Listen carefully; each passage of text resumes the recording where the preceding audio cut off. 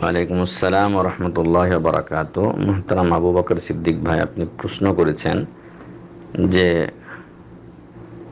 কোরআনের অনেকগুলো আয়াত আছে, বড় বড়। তো এরকম বড় একটি আয়াত দিয়ে, যেমন আয়াতুল কুরসি অথবা দুটো আয়াত দিয়ে কোনো এক রাকাত কমপ্লিট করা যাবে কি না?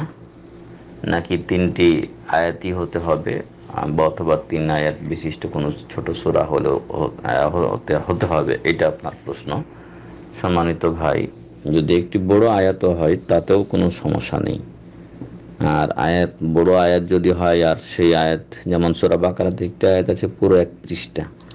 সেটা যদি আপনি অর্থ বুঝেন এবং ওই আয়াতটা দিয়ে দুই টাকা তো পড়েন, সেটাও জায়েজ আছে।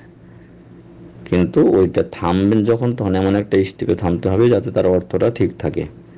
আর অতিরিক্ত যে পড়াটা আমরা পড়ি কোসরা ফাতিহা হলো রোকন, কিন্তু তার পরের পড়াটা হলো সুন্নাত। যদি এটা কেউ ভুলেও যায় হ্যাঁ অথবা ছুটে যায় ভুল ক্রমে আর রুকুতে চলে যায় তাতেও তার সালাত হয়ে যাবে ইনশাল্লাহ এই জন্য সাহসের কোনো দরকার নেই। তো সম্মানিত ভাই, তাহলে আমরা বলতে পারি যে